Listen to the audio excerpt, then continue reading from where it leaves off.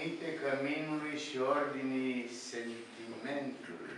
Iar bărbații spațiului public și cuceririi. Femeile țineau de natură. Iar bărbații de cultură. Fiecare sex înțelege să-și asume sarcinile rezervate celuilalt. Mamele lucrează, conduc, studiază. Tații se ocupă de copii și își asumă o parte din treburile casei. Nu se mai înțeleg între ei și nu sunt niciodată acolo unde se așteaptă să fie. Au ce și-au dorit, blestemul libertăților domnului.